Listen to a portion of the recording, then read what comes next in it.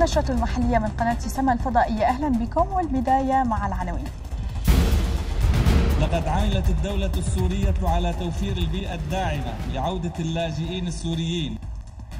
في قصر المؤتمرات بدمشق اجتماع الهيئتين التنسيقيتين السورية الروسية لمتابعة أعمال مؤتمر عودة اللاجئين.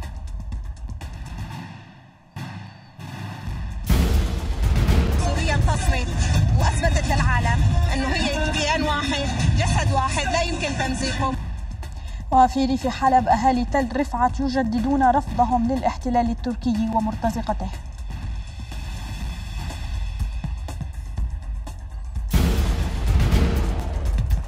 وبمناسبة أعياد تشرين افتتاح مشاريع حيوية بكلفة تجاوزت المليار و200 مليون ليرة سورية في محافظة السويداء.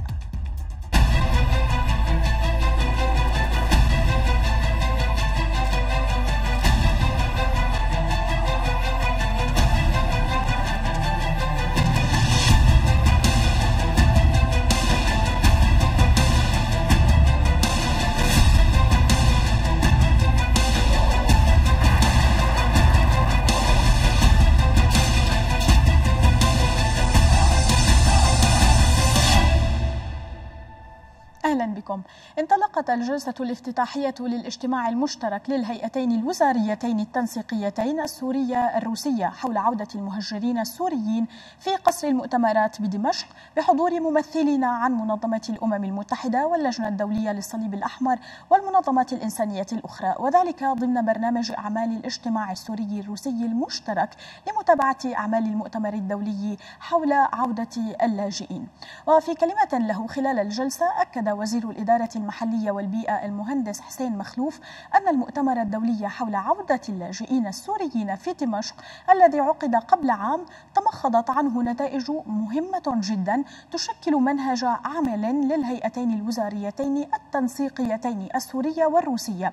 وتتم متابعتها من خلال فريق عمل مشترك يعمل بتوجيهات قائدي سوريا وروسيا الاتحادية الرئيس بشار الأسد والرئيس فلاديمير بوتين. لقد عملت الدولة السورية على توفير البيئة الداعمة لعودة اللاجئين السوريين وتأمين استقرارهم في مدنهم وقراهم بما في ذلك المتعلقة منها بالتشريعات أو بالبنية اللوجستية المطلوبة وفق إمكانات الدولة حاليا. وإذا كان العفو هو بوابة إنسانية وأخلاقية وسياسية تفسح المجال لعودة أكبر عدد ممكن من اللاجئين السوريين. فإن مراسيم العفو الصادرة عن السيد الرئيس بشار الأسد خلال الفترة الماضية هي خير دليل على الرغبة الحقيقية في إعادة اللاجئين وقد كان آخر المراسيم في مجال العفو هو المرسوم 13 لعام الواحد وعشرين. نعير اهتماما خاصا إلى تقديم إلى تقديم مساعدات كهربائية وتزويد الناس بمياه الشرب وغيرها من الخدمات الأساسية بعد حرب طاولة ضد الإرهابيين قد بدأت عملية لاستتباب الوضع في سوريا. الحكومة الروسية سوف تواصل تقديم مساعدة إلى الدولة سوريا الشقيقة بهدف تحسين الوضع الاقتصادي الإنساني السياسي. احتلال التحالف الدولي بقيادة واشنطن لمناطق في شرق الفرات التي تتواجد فيها الاحتياطات الرئيسة من النفط والمحاصيل الزراعية يؤثر سلبا على انتعاش سوريا وتطويرها. الانتشار الهائل للأخبار المزيفة حول الوضع في سوريا والتي تهدف إلى تخويف السوريين وإجبارهم على تأجيل عودتهم إلى ديارهم أمر مثير للقلق.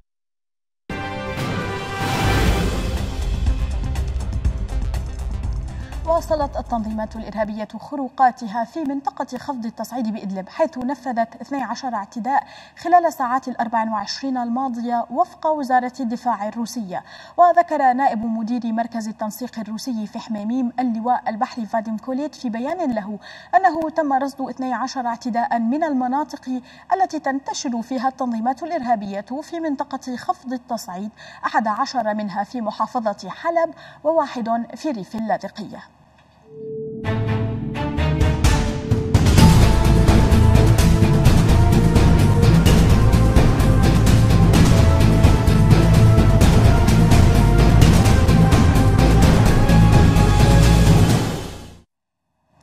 ميدانيا واصل سلاح الجو استهداف معقلين مهمين لما تسمى هيئة تحرير الشام الواجهة الحالية لتنظيم جبهة النصرة الإرهابي في محيط بلدة مجلية شرقي جبل الأربعين بمدينة أريحة ودير سنبل بريف إدلب الجنوبي ما أدى إلى مقتل وجرح عدد من الإرهابيين وتدمير عتاد عسكري كان بحوزتهم.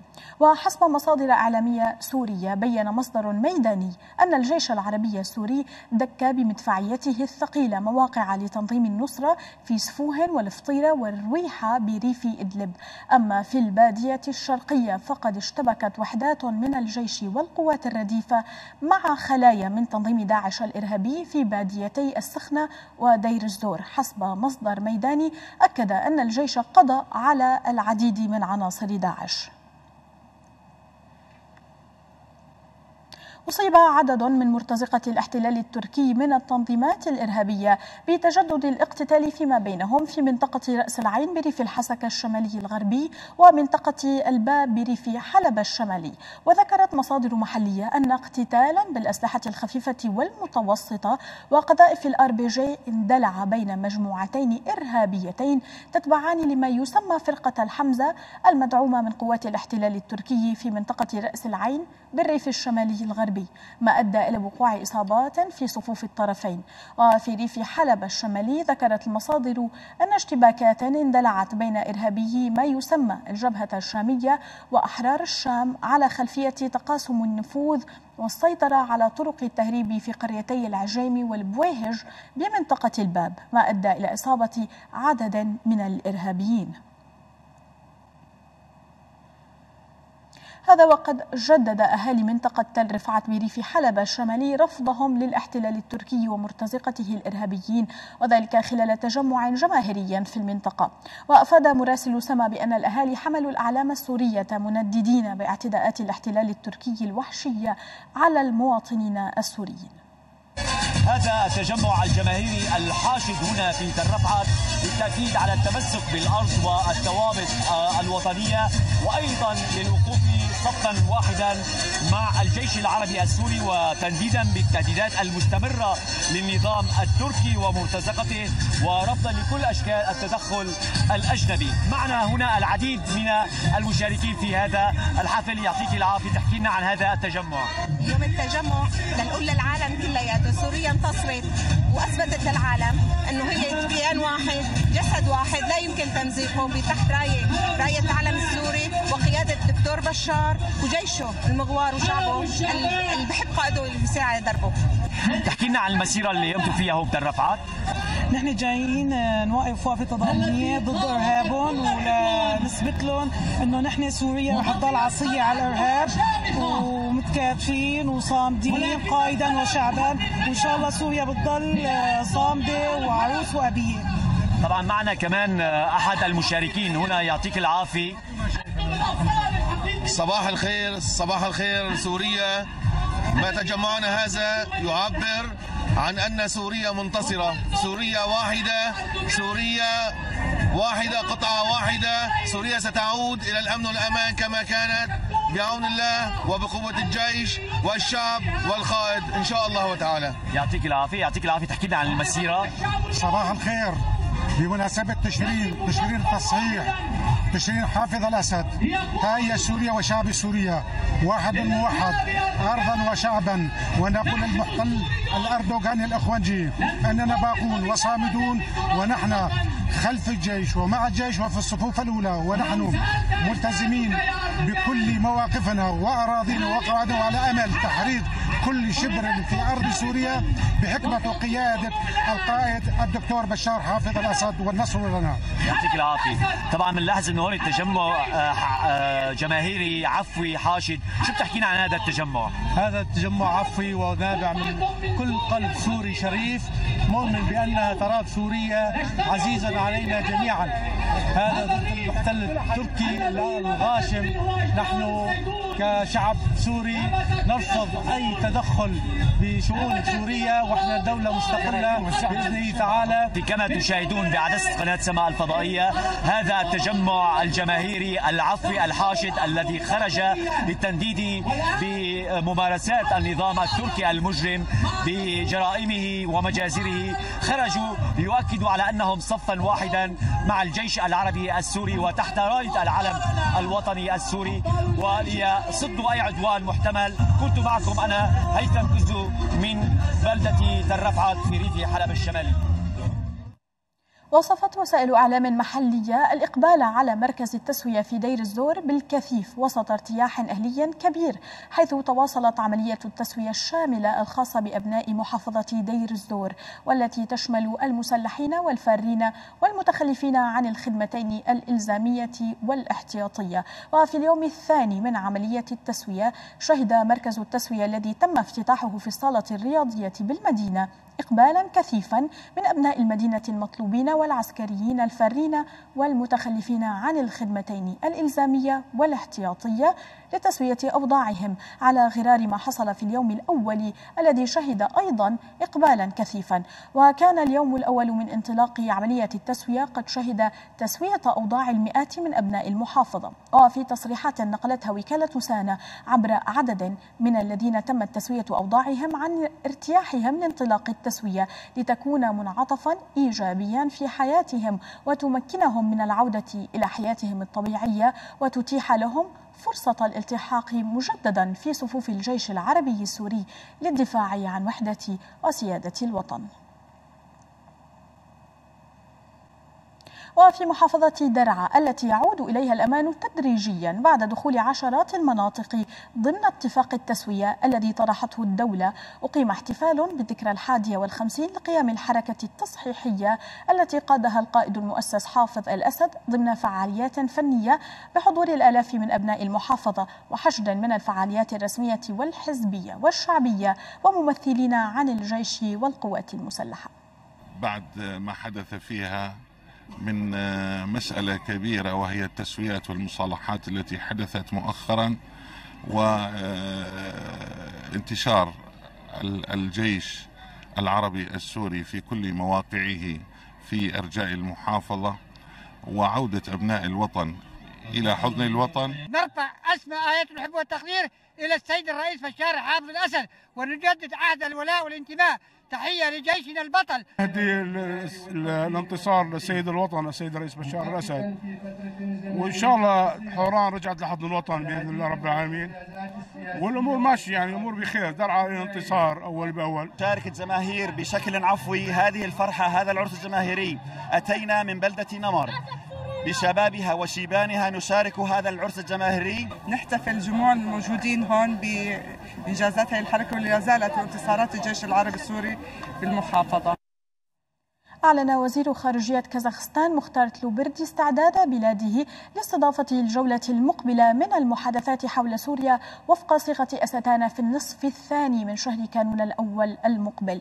ونقلت وكالة تاس عن تلوبردي قوله للصحفيين أكدنا استعدادنا لاستضافة الجولة المقبلة من محادثات أستانا في نور سلطان بعد 20 كانون الأول ديسمبر المقبل. وتلقينا مذكرة رسمية من الجانب الروسي وننتظر التأكيد من الأطراف. الأطراف الأخرى وحينها فقط سنبدأ في إرسال دعوات رسمية للاجتماع. وأشارت لوبردي إلى أنه يتم التنسيق حاليا لعقد اجتماع لوزراء خارجية الدول الضامنة لمسار أستانا وهي روسيا وإيران وتركيا في إطار المحادثات بشأن سوريا في كازاخستان.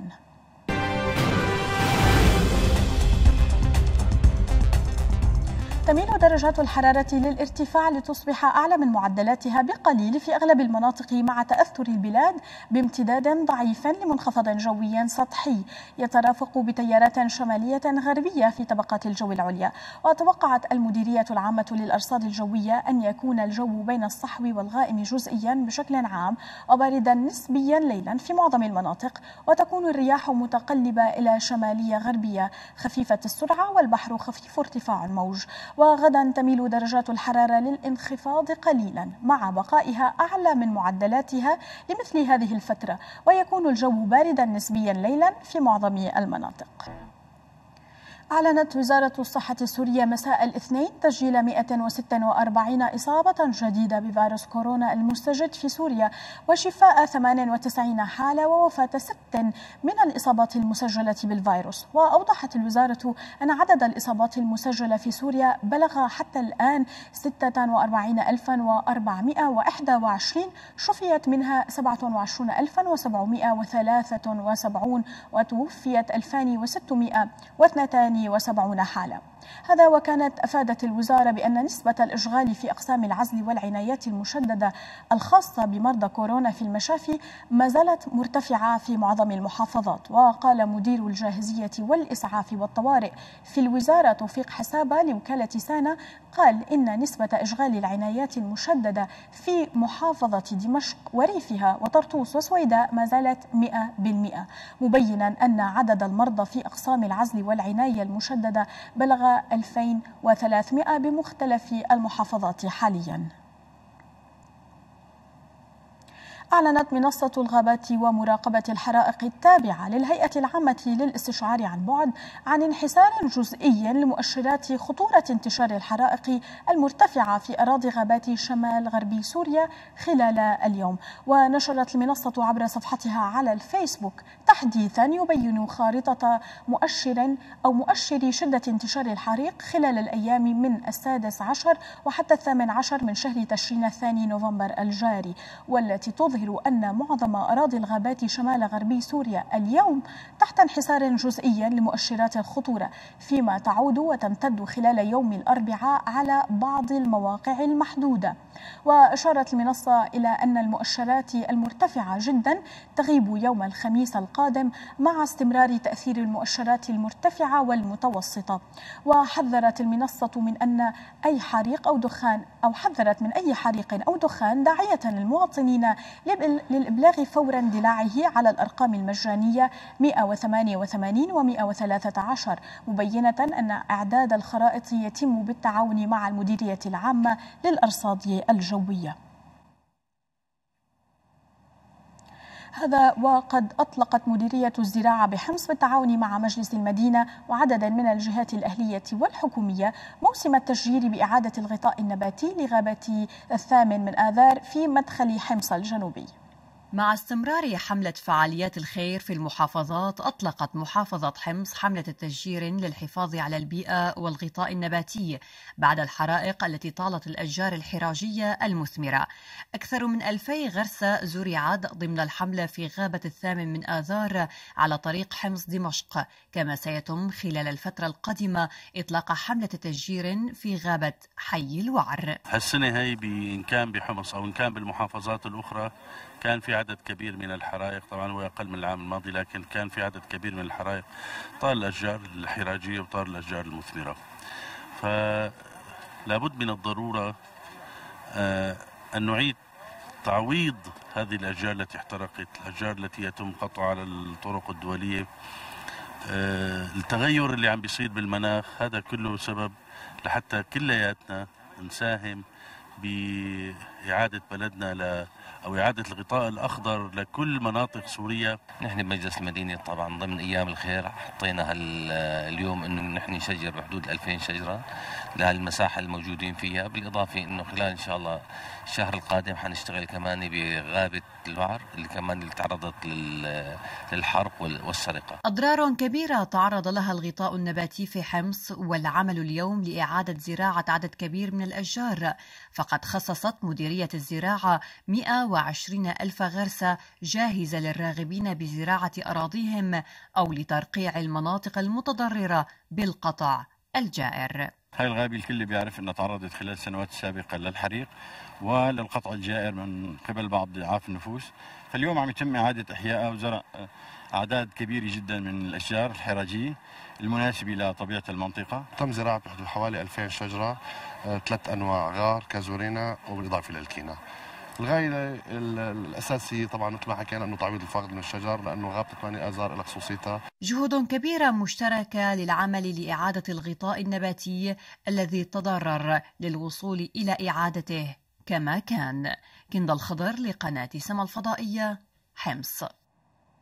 بمناسبة أعياد تشرين افتتحت محافظة السويداء عددا من المشاريع تضمنت إنشاء وتجهيز مدرسة وحفر وإكساء عدة آبار لتحسين الواقع المائي وذلك بكلفة تجاوزت المليار ليرة سورية. مشاريع حيوية بكلف تجاوزت المليار و200 مليون ليرة سورية افتتحت في محافظة السويداء بمناسبة أعياد تشرين.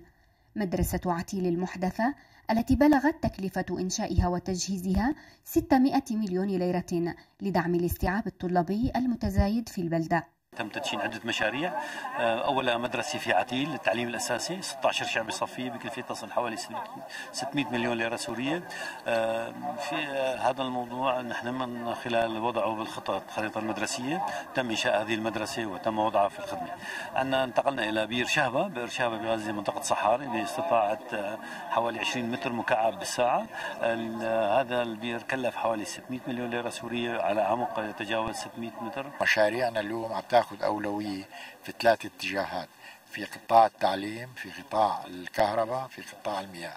هن الحاجة الضرورية لأبناء محافظة السويداء حفر وإكساء وتجهيز بئر لاهثة رقم واحد وبئر شهبة رقم اثنان صحاري. بكلفة تجاوزت 700 مليون ليرة. بعد خروج بئر لاهثة رقم واحد عن الاستثمار لعدم إمكانية إجراء الصيانة. وفي مدينة شهبة لتقليص العجز المائي حيث باشرت هذه الآبار بضخ المياه بهدف تحسين الواقع المائي للأهالي بحضور رسمي وشعبي على أمل أن تلبي حاجات المواطنين الذين طالما عانوا خلال السنوات الماضية من أزمة حقيقية في مياه الشرب. اللي حفروا لنا بير ثاني ونحن عندنا هون مشكلة الكهرباء. الكهرباء ما بتغذي الآبار بتعطينا مي كان لازم عم نشتري مي من برا من آبار خاصة. يعني عم بكلف المواطن أكثر من 100000 150000 ليرة بالسنة. في عندنا البير رقم اثنين آه، بير حديث ولكن معطل صار له فترة طويلة. فمن خلال المطالب هو البئر. وإذا تأمنت المي فبيرتاح المواطن. الكهرباء ساعتين بأربعة. بالست ساعات مش عم تجينا ساعة الكهرباء. هاي بشكل عام. بيجي عندنا المنطقة القبلية بالبلد. حارة القبلية اسمها وضع المي سيء جدا جدا. ليش؟ منطقة عالي متابعة هذه المشاريع الخدمية والحيوية لأبناء المحافظة وتكثيف الجهود لزيادتها وتفعيلها كخطط عمل متسارعة قد تساهم في تحسين واقع السوريين الذين عانوا كثيرا وينتظرون مبادرات الحكومة السورية لتحسين واقعهم المعيشي والخدمي. من السويداء قناة سما الفضائية جمانة حمدان. عدلت وزارة الزراعة القرار الخاص بإنتاج واستيراد وتصدير الأسمدة بهدف تأمين احتياجات القطاع الزراعي والمزارعين وتشجيع القطاع الخاص على إنتاج الأسمدة.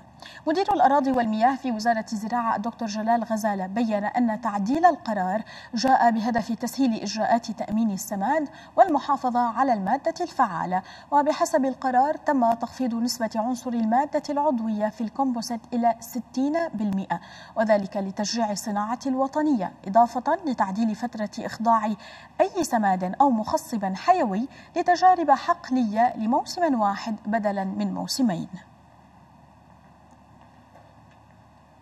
يواصل فرع إكثار البذار بحماة عمليات غربلة وتعقيم القمح المستلم حيث وصلت الكميات الجاهزة للتوزيع إلى أكثر من 15 ألف طن. هذا بينما تعمل المؤسسة على توزيع 800 طن من بذار الشعير على المزارعين. تحضيرا للموسم الزراعي الحالي يستمر فرع إكثار البذار في حماة عمليات غربلة وتعقيم القمح المستلم من الحقول الإكثارية البالغة 27 ألف طن بطاقة يومية تصل إلى نحو 170 طنا من خلال الغربال الرئيسي في كفر بهم إضافة إلى الغربال المتنقل الموجود حاليا في مقر المكننة الزراعية. في بداية هذا الموسم عملنا على استلام 27 آه، ألف طن من البزار الخام من الأخوة الفلاحين من فروع آه، المؤسسة بحماة وإدلب ودمشق. تم غربلت حتى تاريخه 15500 طن. تم توزيع 6500 طن على المصارف الزراعية في حماة و2600 طن لفروع المؤسسة بالمحافظات التي لا تمتلك على أو لا تحتوي ما في عندهم مراكز غربلة تم شحن بحدود 6500 طن إلى مصارف الزراعية في المحافظة آه، مجموع كمية البزار المغربلة والمعقمة لتاريخه 13500 طن. تم شحن منها بحدود ال 2700 طن للمحافظات التي لا يتوفر فيها مراكز غربلة باقي الكمية موجودة في مستودعات المؤسسة الكميات المغربلة والمعقمة الجاهزة للتوزيع بلغت نحو 15500 طن. تم شحن منها 9000 طن للمصارف الزراعية ولفرع الإكثار بدمشق. والبدء بتوزيع الكميات المتبقية للمزارعين في حماة وإدلب بموجب الرخص الزراعية نحن هون مثل ما شفتوا نستقبل الأقماح على جهة الاستقبال من مراكز عراءات المؤسسة ونقوم بإعدادها وتجهيزها وتنظيفها من الشوائب عبر عدة آه، عدة مبادئ للفصل عبر اختلاف الوزن النوعي، اختلاف الطول، اختلاف الحجم. نقوم بغربلة القمح والشعير وإعداده والغربلة والتعقيم والتعبئة والشحن إلى المصارف. وتعمل المؤسسة على توزيع 800 طن من بذار الشعير للمزارعين المتعاقدين مع فرع المؤسسة وسط إجراءات مبسطة والكميات المتوفرة تكفي كافة المزارعين في حماة وإدلب بالسعر المدعوم حكوميا. مشاريع إنتاجية صغيرة تسهم بدعم التنمية الريفية وتوفير فرص العمل لأبناء المنطقة. ومعمل الألبان والأجبان في كفر شاغر بريف منطقة الدريكيش هو أحد المنشآت الحيوية التي أنعشت المنطقة بتأمين فرص عمل للعائلات الفقيرة. بعد مرور سنوات على تشغيل ورشته الصغيرة بصناعة الألبان والأجبان يطمح عدنان درويش لتطوير وتوسيع عمله أكثر وتشغيل أكبر عدد ممكن من الأيدي العاملة في منطقته. فهو يستجر كامل الإنتاج المحلي من الحليب لينتج ضمن مشروعه الصغير مختلف أصناف الألبان والأجبان مؤني حاجة المنطقة من هذه المنتجات. موفر الحمد لله شغل آه، دائم على العمال كلها مأمنين التأمينات الاجتماعية من أول الأزمة لحد الآن نزل مستمرين والأمور الحمد لله مقبولة ومشغلين عنا بحدود ست سبع عمال غير الحليب اللي بنجره من عند الأهالي. ومنفيد فيهم كل العائلات الفقيرة. بده يصير في دعم في فيني يدعموا شوي العلف حبة صغيرة. ويضل السعر مقبول والمنشات الصغيرة ما يشبوها من تعمل 50 طن هلا ما تعمل 50 طن إذا اعطيتيه المازوت ب 1000 ليره بيصير معها بس مثل هذا ياثر على على الموظف أثرت على كل شيء. أثرت على البيئة كلها عنا هنا. بعدين كنت تبيعي بالنهار 200 300 كيلو ما تبيع شيء. العديد من الأسر تعتاش من العمل هنا فهي تجد في هذه المشاريع الريفية الصغيرة خطوة هامة لحل مشكلة البطالة وتأمين مصدر رزق كريم. المنشأة أنا عم عيش أنا وأسرتي كاملة منها آه، ما في وسيلة تنقل بالنسبة لسرافيس أو ما سرافيس. بتمنى إنه من كل بكل قرية من آه، منطقة دريكيش انه يكون في منشأة مماثلة لها بحيث إنه آه، تخف البطالة وتكسر يد العاملة. شغل كويس كثير ومعيش يعني عايشين الحمد لله رب العالمين من هون يعني. محضرنا الحمد لله نشتغل آه، وراتب كويس. تشكل هذه المشاريع الصغيرة تجربة مهمة على صعيد تشجيع الإنتاج المحلي وتوفير العديد من فرص العمل لأبناء المنطقة مما يسهم بتحقيق التنمية الريفية. ختام النشرة إلى اللقاء.